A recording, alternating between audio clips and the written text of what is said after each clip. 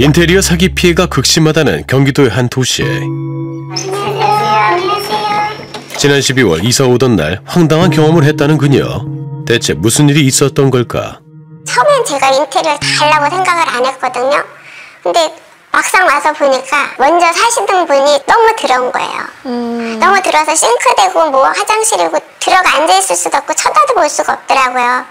그래서 저희는 해야겠고 해서 그, 아, 동네에서 해야겠다 해서 이제 동네 쪽을 많이 다녔어요. 이 집에 더 맡긴 거는 다른 데서는 새해가 넘어가야 들어가실 수 있어요 라고 했는데 이 집은 아, 자기네가 27일까지 꼭 해주겠다라는 약속을 했거든요.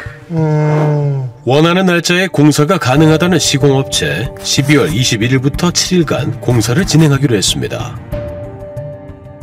하지만 공사가 시작된 후부터 비극도 시작됐습니다. 아 22일날 뜯어만 놓고 그 다음날은 뭐 토요일이라 안 되고 뭐 어쩌고저쩌고 계속 그러면서 안 하고 있었어요. 벌려만 놨었어요. 거실에는 이제 전기도 안 되고 싱크대도 없고 아이고, 그래갖고 그 사람들한테 계속 이 싱크대 언제 해줄 거냐 이제 실장한테 그러니까 실장 하는 말은 전기도 뭐 오셔야 되는데 뭐 delay가 돼서 뭐 못 오시고 있고 뭐 언제 될지 모르겠고 계속 이러는 거예요.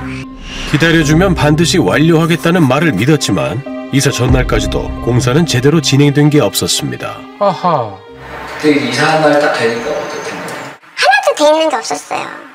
하나도 돼 있는 것도 없었고 천장 구멍만 뚫어놓고 아무것도 한 게 없고 전기 다 떼놓고 아무것도 해준 게 없고 어휴, 이게 철권 날이지 이삿 날입니까? 너무한데요? 당시 거실 공사도 안 돼 있어가지고요. 천장 등을 바닥 콘센트에 연결해서 사셨다고. 아이고야 아이고 참. 이삿 날이 되어서야 시작된 도배. 그마저도 순탄치 않았습니다.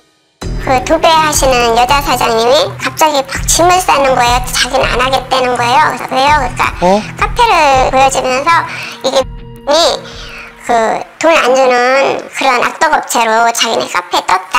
그래서 자기는 이제 오늘 일단 버리겠다 생각하고 가겠다. 어? 날벼락 같은 소식 시공업체에 바로 전화를 걸었습니다. 어떻게 할 거냐고 얘한테 그러니까 아 그냥 도배해 주시라고 해주시면 자기네가 돈 드린다니까 그 사장님은 지금 당장 돈을 입금 시켜라 안 그러면 안 해주겠다 그래서 자기네는 한테 계약한 금액이 290이니까 그 금액을 다오 그러면 해주겠다 이러더라고요 그래서 이제 290만 원 그 자리에서 입금을 해주랬죠 결국 사비 290만 원을 직접 지불해 간신히 이사와 도배를 마쳤지만 그 외에는 아무 공사도 되어 있지 않은 집 남은 건 막막한 뿐이었습니다. 아이고. 야 이사했는데 싱크대도 없으면 어떻게 삽니까? 아니, 진짜 아무것도, 아무것도 없어요. 없는데요? 더 이상 해당 업체의 신뢰를 잃은 그녀는 다른 업체에 재시공을 의뢰했다고 합니다. 그날 이후로 이제 공부하는 이제 끝이 나. 네, 끝났죠. 나중에 발견했는데 문자가 장문에 문자가 와 있더라고요. 그러니까 자기는 해주고 싶었는데 고객님이 그렇게 하셔서 못 해준다, 못했다라는 식의 이제 그 문자가 와 있더라고요. 네? 여러 변수에 의해 공사가 밀렸다는 시공업체 측. 그녀는 더 이상 연락하지 않았다고 합니다. 아니 이 상황에 뭘 믿고 맡깁니까? 취재를 해보니 피해자들 사이에서 해당 업체는 악명이 높았습니다. 앞서 만난 피해자와 마찬가지로 똑같은 방식으로 피해를 당했다는데요. 네, delay가 계속됐어요. 뭐 전기공사도 오늘 들어옵니다. 어, 전기하신 분이 모친상 나가셨다고 못, 오신, 못 오신다. 이번에도 핑계를 대며 공사가 한 달이나 미뤄졌고 그마저도 완벽하게 끝나지 않았다고 합니다. 아이고 세상에. 8일까지 와 화장실 정도까지는 좀 얼추 마무리가 된 상태였을 거예요. 그리고 화장실 청소부터라도 먼저 하고 가자. 화장실 청소하는데 아래층에서 올라오셨더라고요. 뭐 내려가니까는 아빠 화장실이고 뭐고 장대비가 내려요. 에? 뭐 물이 샌다고? 아이고. 잘못된 화장실 공사로 아랫집 천장에 누수가 생겼다는데요. 아이고. 아 다른 피해자에게는 교묘한 이유를 대며 중도금을 요구했다고 합니다. 처음에 견적 비용이 4,100에서 4,500으로 올라갔어요. 뭐 처음에 계약금하고 그 다음에 3일 있다가 중도금식으로 해서 거의 한 70%를 요구를 하더라고요. 경- 공사하기도 전에. 공사하기도 전에 70%는 너무 많은데요. 계약금은 뭐 10에서 20% 정도 아닙니까? 근데 나는 또 왜 믿었냐면 4월 달부터 자재가 오른대요. 그래서 3월 달에 미리 자재를 사놓으면 견적 비용보다 훨씬 저렴하게 공사를 할 수가 있으니까 소비자 입장에서는 자재 오르기 전에 자재를 사다 놓는다고 하니 뭐 줘도 되지 않을까 해서 이렇게 돈을 주게 된 거죠. 아이고. 자재비 절약을 위한다는 말을 믿고 견적 금액의 약 70%에 달하는 3,180만 원을 공사 초기에 입금했다고 합니다. 아, 참. 역시나 금액을 보낸 그 순간부터 악몽 같은 날이 시작됐다고 합니다. 거의 저희는 매일매일 갔어요. 매일매일 가도 똑같은 그대로. 이제 계약 날짜가 3일밖에 안 남았는데 나머지 공정은 언제 다 할 거냐.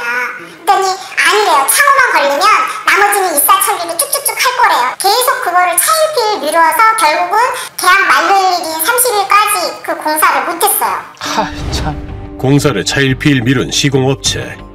완공일이 다가왔지만 내부는 공사 초반과 다를 바 없었다는데요. 차이가 전혀 없는데요. 아니, 같은 날 찍은 사진 같아요. 오히려 더 지저분해진 것 같은데요? 피해자가 완공일 날 직접 찍은 영상입니다. 아, 이게 완공일 날이에요. 뭡니까? 공사를 하나도 안 해줬으니까 우리는 다른 데다 의뢰할 거니까 이제 뭐 공사를 포기하는 포기 각서를 써라 뭐 이런 식으로 얘기가 됐죠. 그래서 공사 포기 각서도 썼어요.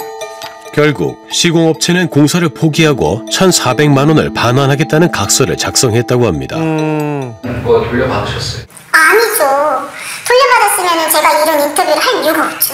에이 참 정말. 해당 업체에 대한 제보를 기다리는 제작진 앞으로 수많은 피해자가 나타났습니다. 떼인 돈은 지금 한2,500 정도.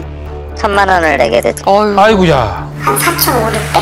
한 7,800에서 한 8,000 들어간 거죠. 이 시공업체는 무슨 이유로 이렇게 공사를 진행하는 걸까? 문제의 업체를 찾아가 봤습니다. 시공업체 실장과 연락이 닿았습니다. 아, 네, 안녕하세요. 입니다. 아, 네, 안녕하세요. 에서 인테리어 피해 받으신 분들 있다고 해서 연락드렸는데요. 지금 제가 편의장도 책임이 왜 나한테 다 오는 거냐는 거예요. 인터뷰 요청에 흔쾌히 응한 시공업체 실장. 아 저 사람인가 보네요. 무슨 말 할지가 궁금해요, 정말. 수많은 피해자가 생기는 이유는 대표의 이해할 수 없는 운영 방식 때문이라고 합니다. 처음부터 오롯이 공사 현장에 들어갈 돈을 다 줬다고 하면 이렇게까지 밀리진 않았겠죠. 최소화로 공- 그 공사를 진행할 수 있는 만큼 하고 미룰 수 있는 건 최대한 미루고 그래서 지금 보면은 항상 좀 부족한 거는 다음 현장 거에서 계약금 정도 땡겨와서 마무리하고 잔금 받으면 이걸 또 다음에 돌리고 그러니까 정상적으로 사업을 운영하고 이거를 정상적으로 다 돈을 주고 해야 된다는 그런 생각은 없는 사람이에요. 기본적으로 좀 깔고 가고 미루고 이게 익숙해져 있어요. 줘야 할 돈들을 안 준다는 말인가요? 돌려받기도 한다는 것 같아요. 대표에게 공사 진행에 필요한 돈을 요구했지만 돌아온 것은 끔찍한 폭행이었다는데요. 근데 그 소비자를 제가 상대하고 있는데 공사가 계속 못 들어가고 있고 돈이 있어야 자제를 시키는데 이 사람은 모르쇠고 제가 계속 돈 달라고 돈 달라고 돈 달라고 하니까 저한테 얘기하는 게 너는 그 지금 그 돈이 남아있을 거라 생각해서 지금 계속 나한테 지금 돈? 달라고? 어떻게 저럴 수가 있죠? 피해 사건이 일어나게 됐고 이러한 이유로 시작된 대표의 폭행은 점차 심해졌다고 합니다. 아니 필요한 돈을 달라고 했는데 저렇게 폭행을 한다고요? 휴야. 폭행은 성습이었어요. 지금도 이런 데가 지금 티가 나잖아요. 이게 귀가 지금 이렇게 돼 있잖아요. 주로 언제 그렇게 되는 거예요? 뭔가 마음에 안 들거나 일이 잘 안 됐을 때 폭행이 심했었고 실제로는 인터넷 보면은 공사 제대로 못한다 그리고 돈 받고 공사 안 해서 사기꾼이다 어쨌든 안 좋은 글들이 많았어요 근데 그거를 보고 소비자가 못 믿겠다 이렇게 좀 취소하는 경우가 많죠 이거는 제 책임이고 이거는 네가 책임져야 돼 이렇게 되는 거예요 계속 아니 그렇다고 그렇게 사람을 때립니까? 말로 해야죠. 저 정도면 도망가야 하는 거 아닐까 싶은데요. 폭행 폭언을 당하면 일반적으로 퇴사하지 않나요? 맞아요. 그 사람들도 그 얘기 진짜 많이 했어요. 뭐 그래서 뭐 가족이냐 뭐 그렇지 않고서 이렇게 할 수가 없는데 왜 하냐 이러는데 정말 해코지가 왔을 때 어떡하지? 제가 제가 피해를 당하는 건 상관이 없는데 어머니가 혼자 있을 때아 해코지가 오면 어떡하지? 라는 생각이 들었어요 진짜로. 다 포기하고 바로 그만두기에는 이게 너무 무, 불안하고 무서운 무서운 거예요. 해당 시공업체에서 일했던 전 직원. 그는 이 업체에 대해 할 말이 참 많다는데요. 계약금을 받으면은 뭐가 하나씩 생겨요. 원래 자기 명의 차가 아- A6 그리고 개인 렌탈식으로 벤- SLC 그 컴포터블인가 뭐 이거 열리는 거 있잖아요. 2인승짜리. 그것도 그냥 달마다 백몇만 원씩 그 차주한테 내는 걸로 알고 있고. 야그 비- 세상에. 528i 그거는 최근에 샀고 계약권 12월 달인가 그때 한번 샀고. 그러면 결국에 그 공사에 들어갈 돈들이 다 그걸로 빠진 거죠. 그것도 그냥 전혀 이해 안 되고 그거를 다그그 돈 놔두고 나머지는 다 임금 체불하고 공사 진행 안 하고. 이해할 수가 없는데요. 그러니까요. 전 직원 또한 대표의 실장 폭행을 기억하고 있답니다. 성격이 진짜 분노 조절 장애 있는 사람 같아요. 처음 왔을 때부터 머리 툭툭툭 때리다가 이제 점점 그 강도가 세지더라고요. 그런데 전 직원은 뜻밖의 말을 합니다. 근데 똑같은 사람이에요. 예? 그러니까 그 소비자분이랑 통화를 했는데 그 돈을 빼돌렸나 봐요. 네? 그냥 아 천만 원 입금했다. 그 나머지 돈은 어떻게 입금했냐? 투뱅크로 따로 입금했다 이런 얘기를 하고 자기 그 그나 그 와중에 자기 거 챙기려고 이 다른 계좌로 돈을 받은 거죠. 그냥 쓰레기 two, 쓰레기 one two. 예. 아, 똑같은 애예요. 그냥 그 와중에 자기 살겠다고 또 하, 죄송하다 계속. 아이고야. 그의 말은 사실일까 실장의 입장을 들어봤습니다. 계약 중도 다른 계좌로 받으셔가지고 사용한 적이 있다던데? 누구 욕하예요? 아, 그냥 얘기해 주세요. 이건 넘길게요. 뭘 넘겨요? 뭘 어떻게 넘겨요, 그거를. 혹시 도박 같은 거 하세요? 아니요 그런 건 아니에요. 도박 안 하세요? 아이고. 아이고, 참. 실제 입금된 돈이 도박 자금으로 들어갔습니까? 제작진의 계속된 질문에 실장은 한참 동안 침묵을 지켰는데요. 너무 솔직히 말씀드리는 건데 있으면 뭐 한두 번 있을 거예요. 거의 없을 거예요. 그거는 야참 언제입니까?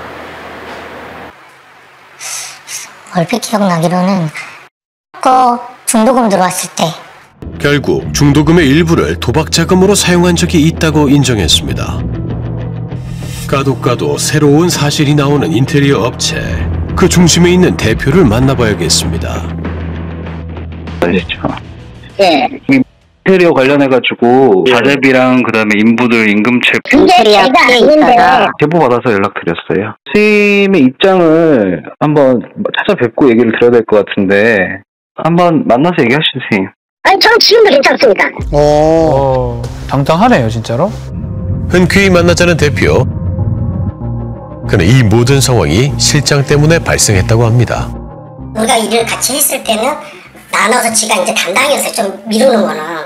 미루는 역할이 따로 필요합니까? 아니, 제대로 주는 게 당연한 거잖아요. 근데 그런 것들을 안 했어요. 내 앞에서는 했다고 그러고 전화를. 그래서 저는 이제 그렇게 알고 진행을 하는데 나중에 알고 보니까 하나도 안 해놓은 거예요. 그래서 난리가 났었어요. 그래서 제가 노동총회도 12명인가 13명이 따다닥 들어갔었어요. 그래서 제가 이제 소주 3병 먹고 때리 했어요. 오죽하면. 결국 그 돈도 다 카바를 했어요. 그래서. 그래서 그때도 지가 다시는 안 그러겠다. 이게 근데 선생님 자꾸 그 맡았다고 하는데 예. 돈은 선생님이 다 가져가셨잖아요. 아니죠. 계약금 선생님 받았잖아요. 예, 예, 그건 맞아요. 그 돈 네? 인부들한테 말이 다 이상하네요. 그 돈이 예. 세상 들어가면 안 나오니까 공사가 진행된다는 거예요. 음, 그건 거짓말이에요. 제가 이거는 떳떳하게 얘기 드릴게요. 뭐준 것도 있고 우리가 쉽게 얘기해서 여기 현장에 들어왔다고 해서 여기만 쓰는 건 아니에요. 그건 어느 인테리어 업자들이나 마찬가지예요.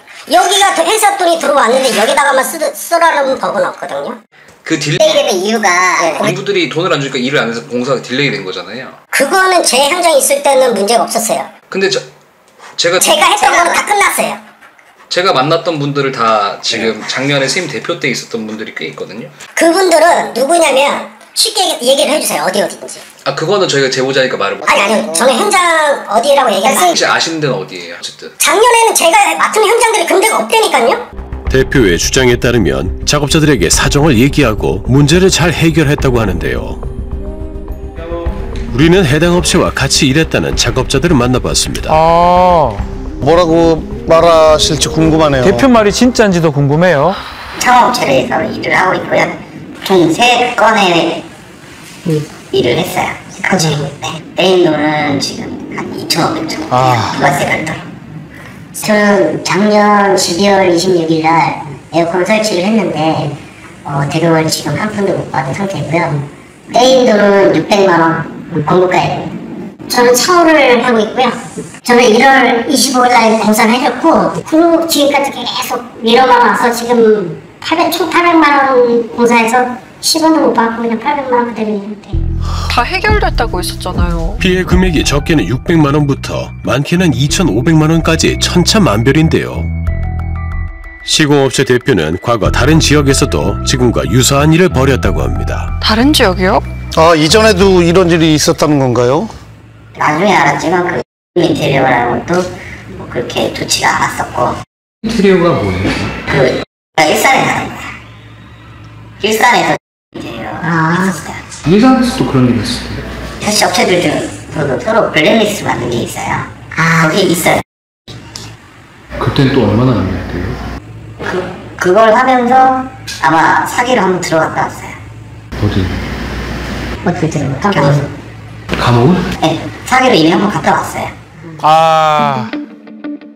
작업자들을 만나 문제를 잘 해결했다는 대표의 말과는 달리 그는 인부들에게 고소까지 당한 상황이었는데요. 얼마 전에 형사 고소를 해서 한번 전화가 왔어요. 5월 말까지 뭐 3분의 2 정도는 변제를 해주겠다. 그리고 5월 말에 전화가 와서 지금 돈을 지급할 능력이 안 되니까 6월 15일까지 만 천만 원이라도 해주겠다. 네, 이런 얘기를 계속 반복해요. 야, 참. 그 6월 15일 보가 있는 걸까요? 아니면 그냥 6월 19일 되면 또 얘기할 거예요. 6월 말이라고. 아니면 7월 15일이나. 어, 이해를 못 하겠네요. 분명히 임금 문제는 없었다던 대표에게 재차 따져 물었습니다. 그 샤시 2800 사장님도 15일날 받으시기로 했다는데 그건 어떻게 됐어요?